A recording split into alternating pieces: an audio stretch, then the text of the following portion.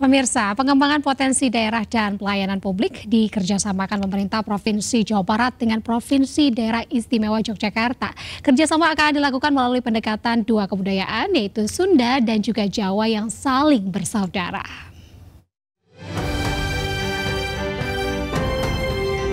Penguatan sinergi Jawa Sunda terlihat dalam acara Pesona Jabar di area Candi Prambanan, Yogyakarta. Dua budaya yang memiliki nilai sejarah panjang ini ditampilkan sebagai simbol persatuan Indonesia.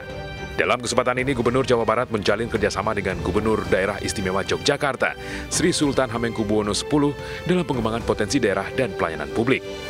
Saya mengapresiasi mewakili masyarakat Jawa Barat di zaman Sri Sultan lah uh, rekonsol sebenarnya bukan rekonsiliasi ya, tapi penguatan uh, sinergi dua budaya Jawa Sunda ini mewujud konkret.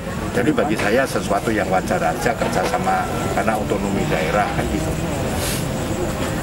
Sering bisa mendukung untuk kemajuan bersama.